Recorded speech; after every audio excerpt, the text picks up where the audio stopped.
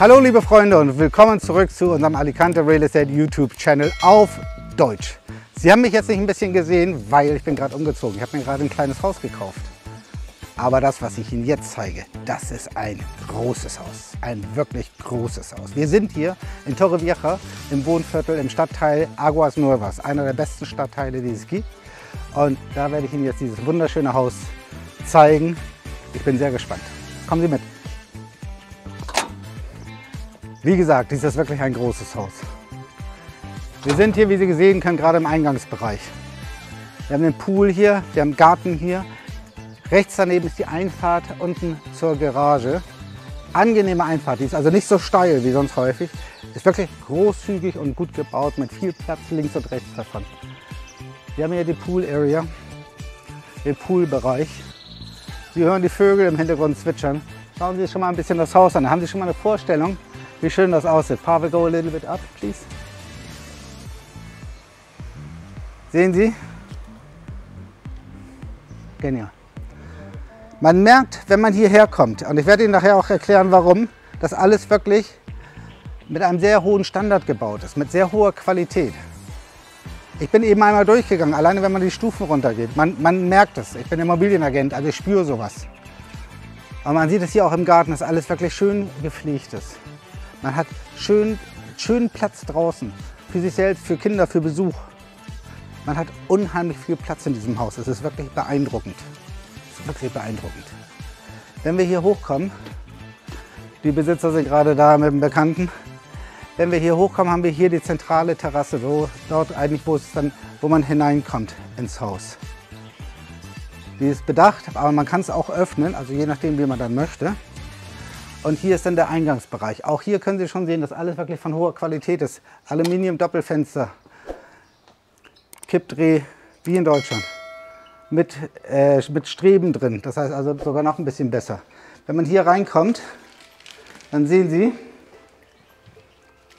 alles hier mit Zentralheizung. Klimaanlage durch. Sie müssen, Sie müssen hier sein. Wenn Sie die Türen anfassen, merken Sie schon, was ich meine mit Qualität. Im Eingangsbereich, wenn man hier rumgeht, kommt man ins Wohnzimmer. Wohnzimmer mit Essbereich hier zusammengelegt. Die leben im Moment nur zu zweit hier, deswegen brauchen die das nicht. Deswegen stehen hier auch Bilder von den Enkeln und Kindern. Und hier ist das Wohnzimmer mit Kamin. Trotzdem ist Zentralheizung hier, trotzdem ist auch natürlich auch Klimaanlage da. Überall, das gesamte Haus hat Klimaanlage. Hier ist der Kamin und von hier aus kann man auch wiederum rausgehen zu der Terrasse, wo sich links dann die Hauptterrasse befindet oder man geht ums Haus herum. Sie merken, es ist ein richtig großes, schönes Wohnzimmer. Aber wenn man sich das Ganze mal anschaut, wie liebevoll es auch gemacht ist, ist einfach klasse. Ist echt toll. Dieses Haus ist deswegen so gut gebaut, weil der Eigentümer selbst Bauherr ist. Und als er dieses Haus gebaut hat, da hat er es für sich selbst gebaut. Das heißt, da wo 60 cm Vorschrift waren, da hat er 80 genommen. Da wo 20 cm Vorschrift sind, hat er 25 genommen. Er hat alles ein bisschen besser gemacht in diesem Haus. Und das merkt man, wenn man hier hereinkommt. Hier ist der Eingangsbereich. Dann hat man gleich daneben die Küche. Das heißt Wohnzimmer, Küche, Essbereich, alles zusammen wo man hier auch noch einen Ausgang hat zur hinteren Terrasse, da kommen wir noch hin, wo man auch Sachen dann aufbewahren kann. Und hier hat man die Küche. Momentan sitzen die beiden hier und essen hier, das heißt, hier haben wir alles schön zusammen. Küche ist schön groß, es ist praktisch eingerichtet. Man hat alles um sich herum, was man braucht. Tolle Küche, tolle Küche. Wenn wir jetzt hier weitergehen, dann kommen wir hier zum Hauptschlafzimmer. Es gibt oben auch noch ein Schlafzimmer, aber jetzt erstmal hier. Ja? Hier ist das Hauptschlafzimmer mit Ankleidezimmer. Vom Ankleidezimmer, welches hier ist, ich will jetzt die Schränke nicht aufmachen, vom Ankleidezimmer, welches hier ist, kommt man hinein ins Badezimmer, welches auch schön groß ist.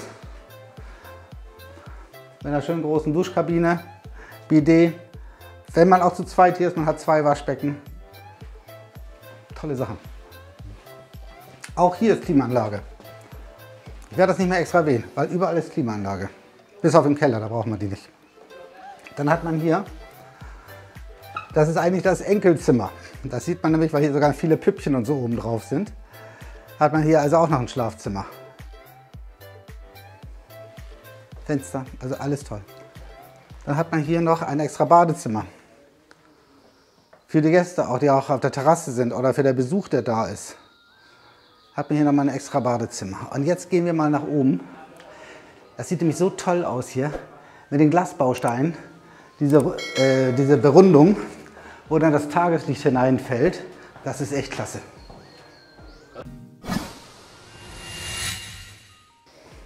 Auch hier merkt man wieder, die Treppen sind etwas großzügiger. Alles ist einfach ein bisschen besser oder viel besser als in einem Haus, welches einfach gebaut wird, damit es verkauft wird.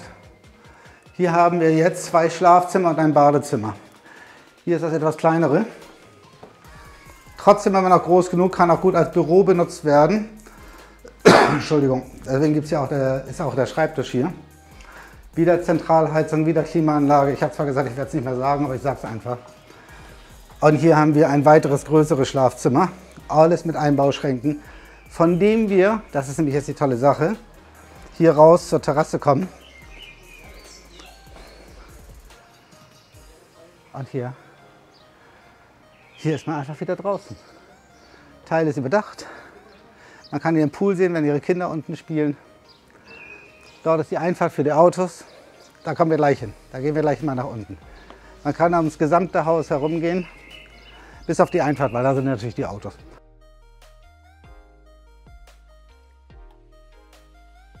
Also wenn man Besuch über längere Zeit da hat, ist das natürlich ideal hier. Weil hat jeder so ein bisschen Privatsphäre, wenn man selbst unten ist und der Besuch dann hier oben ist. Und trotzdem auch eine separate Terrasse. Fantastisch. Jetzt gehen wir mal ganz nach unten und schauen uns mal an, was wir ganz unten finden. Ich verrate schon mal, Stellplatz für drei Autos. Drei. Die meisten sind froh, wenn wir einen Stellplatz haben in der Garage, in der Tiefgarage. Hier reden wir von drei Autos. Und hier ist die Autoeinfahrt. Sie sehen schon, wie breit die ist. Ich weiß nicht, ob hier zwei Autos nebeneinander vorbeikommen. Naja, das ist ein bisschen übertrieben. Aber die ist wirklich breit, weil man hat hier Platz für drei Autos. Das ist Platz. Und trotzdem hat man hier noch Abstellmöglichkeiten. Wenn Sie so ein großes Haus haben, sind Abstellmöglichkeiten natürlich auch super. Die brauchen Sie. Und Sie sehen, dass jetzt im Moment drei Autos da sind. Dann steht hier Feliz Cumpleaños, das heißt herzlichen Glückwunsch zum Geburtstag. Warum? Weil sich hier unten auch der Partykeller ver verbirgt, versteckt, für den Besuch, der kommt. Und der ist hier. Hier haben wir einen Partykeller mit Klo übrigens auch. Hier Partykeller mit Kamin, mit einem richtigen Tresen. Können Sie sich vorstellen, wie das ist, wenn man dann hier ist und ein Klassiko sieht. Klassiko ist, wenn Real Madrid gegen Barcelona spielt. Da hocken wir alle vom Fernseher. Ich bin zwar kein großer Fußballfan, aber das muss man sich immer anschauen, wenn man das hier mit seinen Freunden zusammen sehen kann oder Geburtstagsfeiern hat. Tresen hat man hier mit Kühlaggregaten auch und auch noch hier mit Barhockern.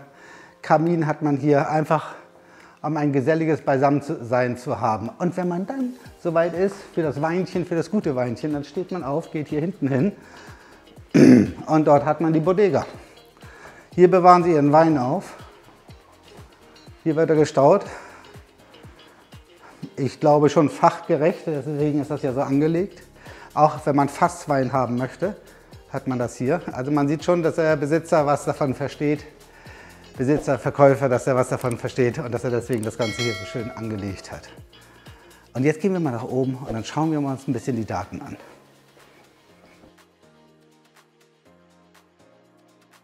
Schönes Haus, ne? Schönes Haus. Dieses Haus, da zahlt man Steuern im Jahr, ist ja auch mal ein wichtiger Punkt, 1050 Euro im Jahr an Steuern. Ich muss meine Brille rausholen. Wir haben gesehen, vier Schlafzimmer, drei Badezimmer.